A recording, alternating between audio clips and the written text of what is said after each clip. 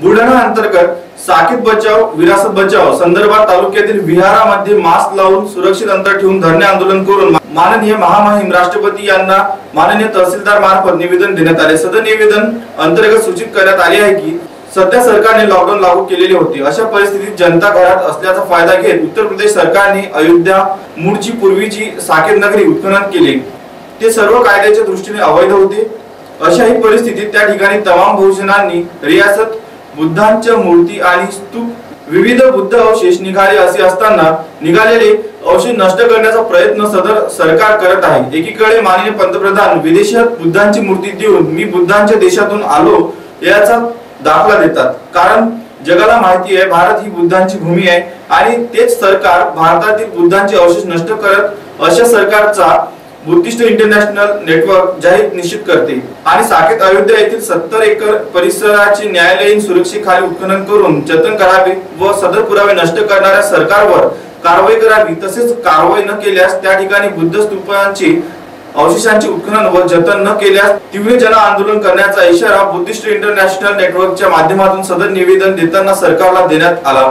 यावेळेस निवेदन सादर करताना बुद्धिस्ट इंटरनॅशनल नेटवर्कचे जिल्हाध्यक्ष माननीय Madhukar Gawande Satish Mohade B K Gawai Sandhya Gawai madam Wadekar madam Prakash Wadekar Mahendra Gawai उपस्थित होते. नेटवर्कच्या माध्यमातून साकेत बचाव बुद्ध विरासात विरासत बचाव या आंदोलनाला पूर्ण भारत देशामध्ये सुरुवात झालेली आहे.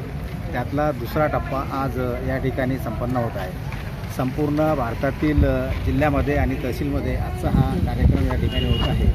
धरणे आंदोलनाच्या माध्यमातून या कार्यक्रमाचं नियोजन या ठिकाणी केलेलं होतं.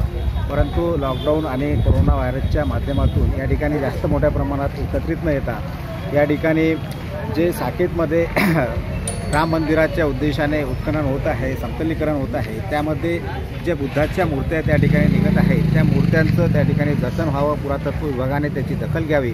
आणि त्या ठिकाणी बुद्धाचा तो अवशेष निघत असल्यामुळे ती बुद्धाची भूमी आहे आणि त्या ठिकाणी बुद्धाचं विहार व्हावं या मागण्याला घेऊन या ठिकाणी संपूर्ण भारत देशामध्ये हे आंदोलन सुरू होत आहे. आणि त्या आंदोलनाचा भाग हा प्रत्येक बुद्धविहारामध्ये गाव तिथं विहार आणि अशा माध्यमातून सर्व ठिकाणी आज हा कार्यक्रम संपन्न होत आहे.